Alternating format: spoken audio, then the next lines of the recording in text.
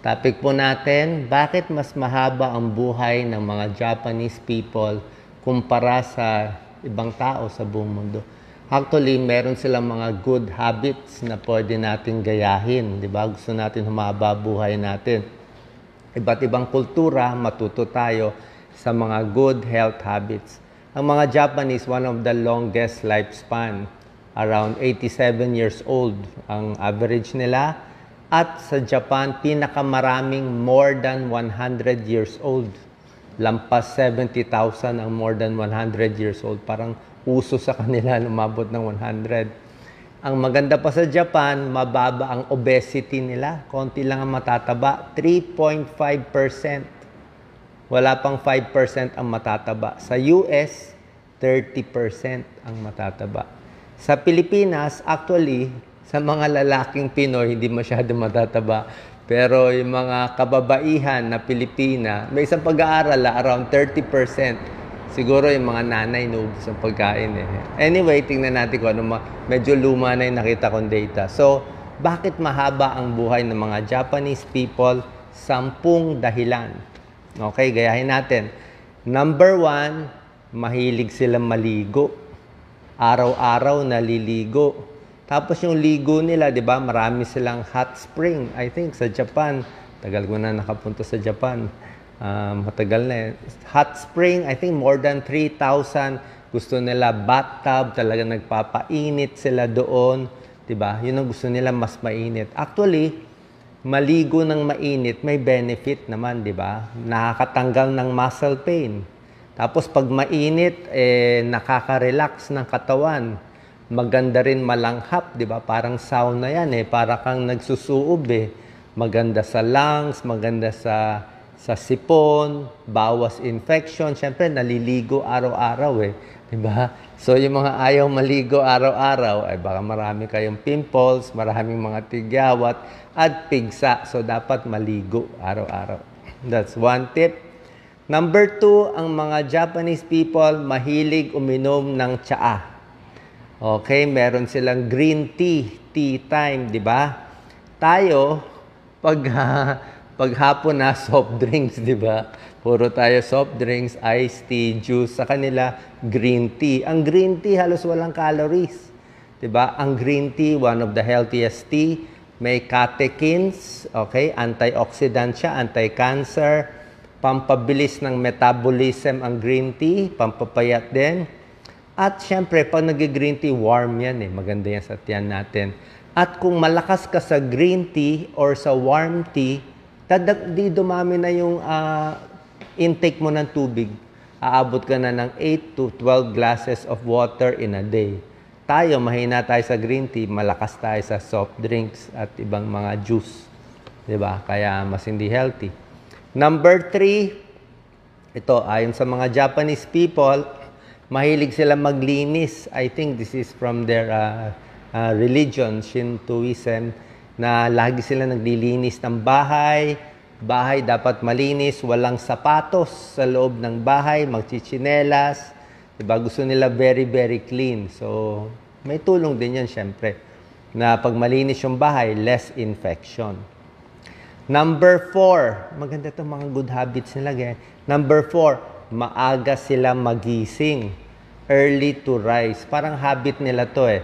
Kasi nga doon nga po sa, sa religion nila, parang every morning, uh, parang ginigreet nila yung araw o nagdadasal sila sa araw. So maganda yan. Morning sun, umaakyat, di meron ka ng morning sun. May vitamin D ka na. Diba? Naaarawan ka pa with exercise ka pa sa umaga. So, hindi pa mas marami pa magagawang trabaho, di ba? May kasabihan, the early worm, di ba? The early bird gets the worm, di ba? So pag maaga gising mo, maaga din ang tulog nila. Di ba? So less puyat. Alam niyo naman, masama ang laging puyat. Di ba? Ang daming sakit pag napupuyat. Siyempre, pagising mo sa umaga, very peaceful, matahimik, kita lang yung araw, nagme-meditate, very peaceful, maganda sa utak. Diba? Ang ganda ng habits nila. Number five, habit ng mga Japanese, kaya mahaba ang buhay. Diba ang tip nila? Tingnan yung pagkain nila. Pagkain nila, pakonti-konti lang. Pero iba't ibang klase, ba? Meron silang mga box, di ba? Konting prutas, konting karne, konting isda, di ba? Konting pickles, di ba? May miso soup, tapos isang cup na busog ka sa rice, di ba? Pero kita mo, pa konti-konti lang siya. Tsaka sa mga Japanese, mabagal sila kumain, di ba? Mabagal kumain at may kasabihan sila pag malagyan lang ng laman ang tiyan, mabusog lang ng kalahati, tigil na sa kain. Pero tayo, hindi tayo tumitigil pag 50% full ang tiyan o 80% full, kailangan sa atin bondat, di ba? So, yan ang problema. So, sila slow eating, pa konti-konti lang, di ba? Minsan sa pag yung mga box nila, konti-konti, di ba? Hindi tayo nabubusog. Pero variety variety in foods at pakonti-konti. At isa pa, Chinese and Japanese, gumagamit sila ng chopstick. Di ba, hirap kumain sa chopstick. Bago mo makuha yung isda, bago mo, bago ka makakain ng uh, kanin sa chopstick, di ba, ang konti-konti, ang hirap kumain. So, maganda yung chopstick, pampabagal ng pagkain.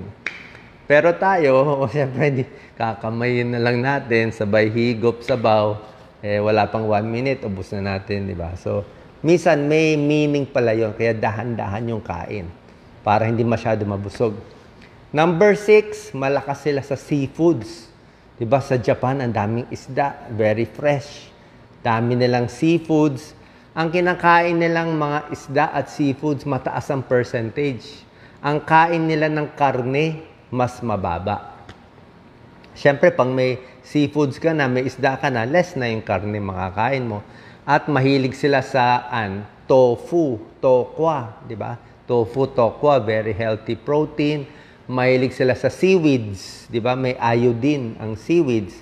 Miso soup, maraming gulay. So, healthy po. Di ba? Tsaka pa konti-konti. Number seven, tinuturuan nila yung mga anak nila habang nasa school pa lang mas kumain sa bahay. Okay? Home eating. Mas pinipilit, kahit very simple lang yung luto nila, pero mas kumakain sa bahay, pinipilit nila kumain sa bahay. Kaya kahit papano, mas healthy pa rin. Although, siyempre, may mga fast food na doon sa Japan. Pero yung mga sinaunang, ano, nakikita kasi yung evidence, eh, ang haba ng buhay. Eh. Diba? Tsaka yung matataba, uh, 3% lang, eh, di ba? Ang bababa. So, home eating mas okay. Hindi tayo na-stuck sa fast food. Number 8, kaya sila mahaba buhay. Napakaganda doon. Maganda maglakad. Okay?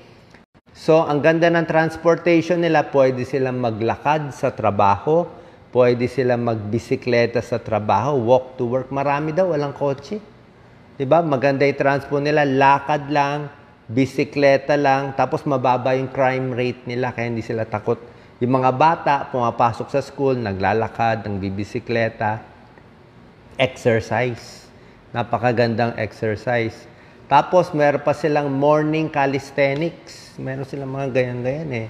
Oo, talagang pagpapawisan ka. Simple lang, galaw-galaw para hindi pumano.